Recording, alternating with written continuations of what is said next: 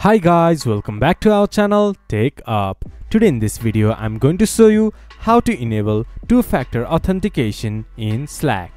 To do so, follow some simple steps with me. First of all, open your Slack application or go to Slack website from your browser. Once you have logged into your account, this type of interface will appear in your screen.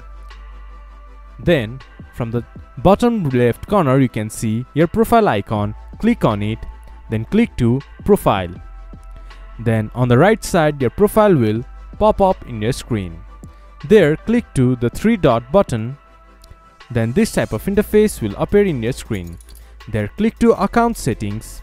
Then you will be redirected to account setting page. There you can see in setting section two-factor authentication.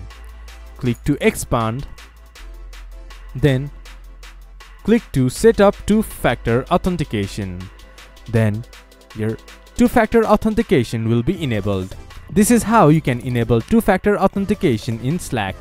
This much for today's video. If you guys find our video helpful, please leave a like and comment. And do not forget to subscribe our channel and hit the bell icon.